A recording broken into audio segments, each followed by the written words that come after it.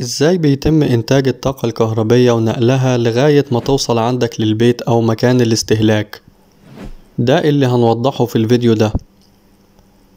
أي شبكة كهربية بتتكون من ثلاث أجزاء رئيسية. أول جزء هو نظام إنتاج الطاقة.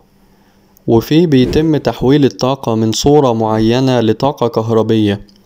عند جهد وتردد بقيم محددة مسبقا. وفي أنواع كتير من طرق إنتاج الطاقة الكهربية هنخصص لها فيديو منفصل. تاني جزء من أجزاء الشبكة الكهربية هو نظام نقل الطاقة الكهربية.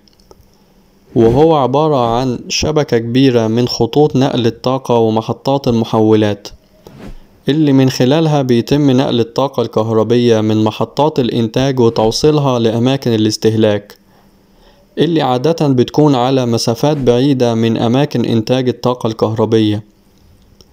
تالت جزء من أجزاء الشبكة الكهربية هو نظام توزيع الطاقة وهو اللي من خلاله بيتم توصيل الطاقة الكهربية للمستهلكين باختلاف أنواعهم زي المدن السكنية أو المولات والمباني الإدارية والمستشفيات والمصانع.